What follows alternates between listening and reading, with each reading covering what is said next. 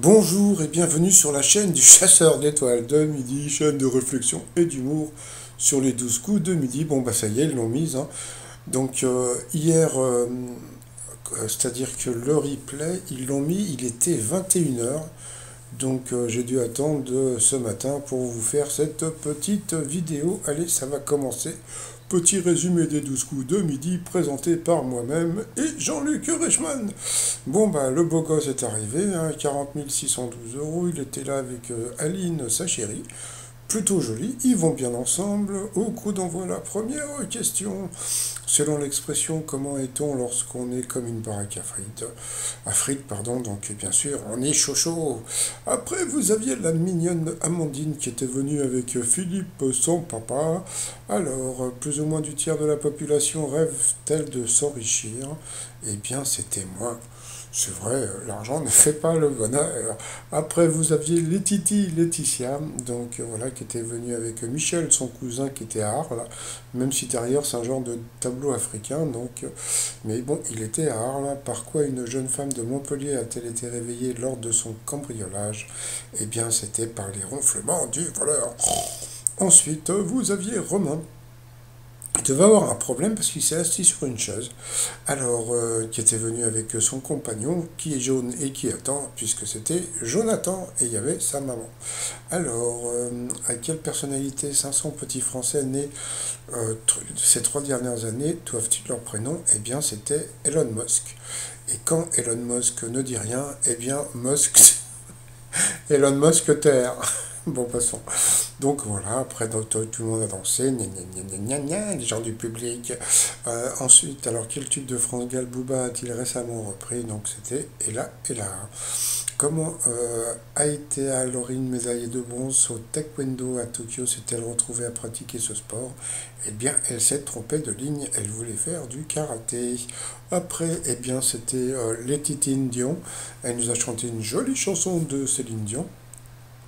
Après quel rituel les cosmonautes russes ont pris l'habitude de pratiquer avant de grimper dans leur fusée? Ça, j'avais entendu déjà cette question. Eh bien, c'était de faire pipi sur un bus. Donc, euh, sur cette question, eh bien, ah, euh, elle est passée au rouge. Qui dit rouge dit duel Elle a pris la jolie Amandine en duel qui est tombée sur une question euh, bah, de bébé hein, qui chantait We will rock you et Another One Bit. The- ouais, attends, Another One Bite the Dust, voilà. Donc euh, bien sûr, c'était Freddie Mercury. Donc ensuite, eh bien, Amandine, Benjamin et Romain se sont retrouvés au coup par coup. Entre-temps, Jean-Luc Reichmann, il a lu une lettre qui super émouvante. Alors, euh, quelles paroles sont issues d'une comptine pour enfants? Eh bien, la mauvaise réponse, eh bien, c'était les grands boas, les pandas, et tout le monde a donné la bonne réponse ensuite. Où trouve-t-on le mot racing dans le nom du club euh, sportif français? Eh bien, la mauvaise réponse était du rugby à Toulon. Donc là, c'est euh, Amandine qui est passée à l'orange. Après, quel personnage de Disney a été correctement remplacé par une célébrité qui porte le même prénom que lui? Et la mauvaise réponse était, euh, je sais plus. euh, voilà, donc et là, c'est le Benjamin qui a donné la mauvaise réponse. Après, quelle proposition désigne un mot de cinq lettres se terminant par hôte? Et la mauvaise réponse, c'était un lémurien d'Afrique. Là, c'est Romain qui, euh, oui, c'est, qui est passé donc à l'orange. Et ensuite, laquelle de ces expressions toutes faites est un pléonasme? Eh bien, la mauvaise réponse, c'était une liste exhaustive. Donc, sur cette question, eh bien, Benjamin, le maître de midi, est passé en rouge. Qui dit rouge dit duel Donc, il a pris donc Romain en duel, qui est tombé sur une question tordue, hein, comme je vous ai déjà dit. Quand le maître de midi passe au rouge, le candidat en face a une question difficile. Quand c'est le contraire, le maître de midi a une question de bébé. Ça, c'est comme ça. Il va falloir vous y faire. hein. Donc voilà. Et puis la mauvaise, euh, quoi, pardon, la bonne réponse, c'était euh, mathématiques. Euh, voilà. Non, ah oui, pardon, j'ai même pas lu la question. Dans quelle matière Brian May, le guitariste de Queen, a-t-il enseigné avant de devenir une star? Donc il avait dit la chimie, c'était les mathématiques. Franchement, c'était pas évident. Donc comme je dis, une question super du dur. Après, bah, Benjamin et Amandine se sont retrouvés en coup fatal. Comment s'appellent les barres verticales du de football? Ça, il savait pas. Bon, ben voilà, il est passé pour, pour une buse. Sur quelle île se trouve la ville d'Héraclion? Donc, il a, euh, qu'est-ce qu'il a dit? Je crois qu'il a dit Malte. Donc Héraclion, bien sûr, c'est à Crète. Et à Crète, les habitants, c'est les Crétois, pas les Crétins. Ensuite, d'après le dicton, donc quoi fait-on les meilleures soupes? Ce soupe, donc bien sûr, c'était dans les popos. alors ça, c'était super dur. Et en plus, c'est dégueulasse parce que c'est faux. Quelle circonscription d'élection du conseiller général porte le même nom qu'une grande ville chinoise?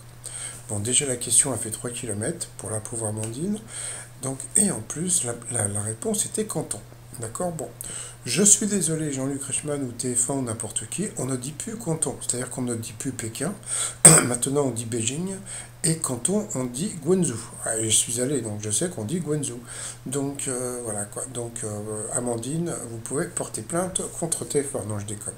Donc, euh, ensuite, quel véhicule sans roue est tracté par des huskies? Donc, je crois qu'elle a dit une luge, c'est un très traîneau. Ensuite... Ça, c'était super dur. Sur quel pseudonyme le rappeur Stella Evrard JJ est-il connu, euh, connaît-il le succès? Ça, c'était pour elle. Hein. C'est super dur comme question. Je ne me rappelle même pas qui c'était. Euh, ah si, c'était Végédrine. Euh, quel verbe désigne le fait de laisser une bouteille de vin à température ambiante avant de déguster? Donc, il a dit éventer. Donc, bien sûr, c'était chambré. Donc, je suppose qu'il va se faire chambrer sur cette question. Pourtant, c'était assez simple. Quel produit laitier compte 82% de matière grasse C'était le beurre. Euh, avec qui euh, Luc Plamondon a-t-il écrit l'opéra Rockstarmania Il a dit. Euh, qu'est-ce qu'il a dit? Il a dit comment il s'appelle le grand avec les cheveux frisés? Eli Chouraki. Donc, bien sûr, c'était Michel Berger. Donc, c'était assez, assez simple. Ça, c'est encore une question pour lui. Quelle est la couleur d'une banane pas mûre? Bah, Je sais pas, je, sais pas, orange. Donc, voilà. Donc, comme on peut voir, il a des questions faciles et elle a des questions difficiles. Alors, ça, c'est encore plus dur. Quelle salle de, salle de, spectacle parisienne fait face au théâtre de la ville? Eh ben dis donc, c'est super dur parce que le théâtre de la ville, déjà pour connaître, c'est pas évident. Et puis bon, bah bien sûr, c'était quoi le Châtelet, quoi, je dis bien sûr.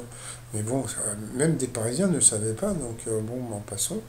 Et puis ensuite, à l'hôtel, quelle formule de séjour comprend l'hébergement et les trois repas? Donc ce que j'aime bien, c'est qu'elle a dit all inclusive. Donc euh, bon, bien sûr qu'on aurait dit. Euh, euh, comment on dit, euh, mince, euh, je sais plus comment on dit, pension complète. Donc voilà. Ensuite, dans quel calendrier trouve-t-on le mois de Ventose? Là, ça, ça m'a fait super rire parce que donc Bien sûr, c'était le calendrier révolutionnaire. On bon, franchement, des calendriers, il n'y en a pas 50 000. Donc, bon, bah, il a dit euh, le révolutionnaire. Et à ce moment-là, Jean-Luc Reichmann dit Oui, il faut l'applaudir, il est très fort. Bah oui, mais il y avait une évidence quand même. Hein. Bon, c'est pas grave. Ensuite, comment appelle-t-on une jeune vache euh, qui n'a pas encore mis bas? Donc, ça, c'était pour Amandine. Donc, c'était la génisse. c'est la génisse sans bouillir. Bon, passons. Euh, faut, que j'arrête l'humour. Alors, ça, c'était une question pour lui. Quel pays d'Amérique découvert par Jacques Cartier a pour capitale Ottawa? Bah, il savait pas. ah bon Ottawa. Alors, il y a un truc qui est super rigolo. Euh, c'est que je suis allé à Ottawa. Et à Ottawa, il parle anglais. Vous voyez, donc, c'est-à-dire qu'il y a euh, Ottawa, Toronto, ils parlent anglais, et euh, à Québec, ils parlent le français. Donc, euh, voilà, donc c'était le Canada. Ils ne savaient pas que c'était le Canada. Ensuite, quelle discipline automobile est considérée comme la catégorie, reine de ce sport? Donc la Formule 1, donc ça c'était une question pour lui, donc question facile. Et puis après, pour achever la pauvre Amandine, quelle est la, nationalité du peintre Gustav Klimt? Donc je sais plus ce qu'elle a dit, moi j'aurais dit américaine. oui, parce que c'est Klimt Eastwood. Bon, ça va, bon, de toute façon, elle a perdu, donc je crois qu'il était autrichien, donc euh, voilà, donc... Euh, mais bon, comme on peut voir, le mètre de midi euh, n'en menait pas large, donc voilà. Ensuite, par rapport au coup de mètre, dans quel domaine artistique utilise-t-on une portée? Il a dit la littérature. D'accord, bon. Il y a aussi en élevage. Je, crois que quand, je sais plus quel animal, euh, on dit qu'il a une portée quand il a, plusieurs bébés. Bon, donc euh, bien sûr, c'était en musique, donc il a perdu une étoile et un zéro. Ensuite, où se situe le château qui accueille l'équipe de France de foot euh, lors de ces rassemblements? Bah, C'est le château de la Starac.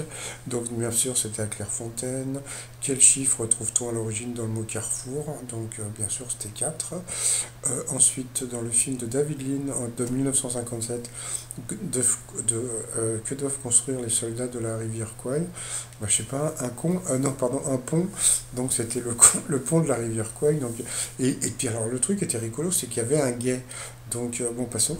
Donc, j'ai trouvé ça rigolo, bon, passons. Et puis après, comment s'appelle le jeu vidéo de tir dont la traduction est Jour de paix?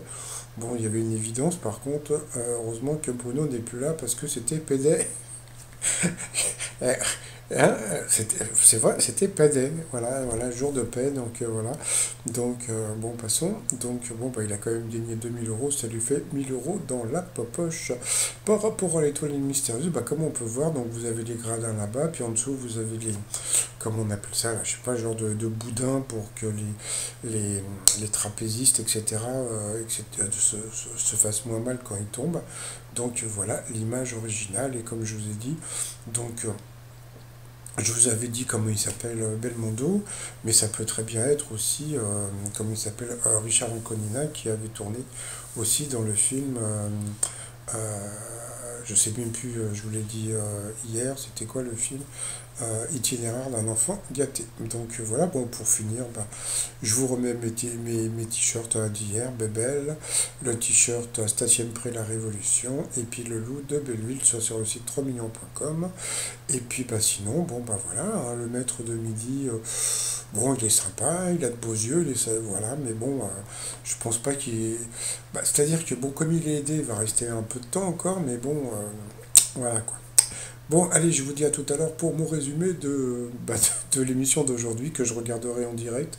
Parce que là, franchement, c'était n'importe quoi hier. Hein. donc, euh, de, de, mettre la, la vidéo à 21h, franchement, c'est n'importe quoi. Allez, bye bye.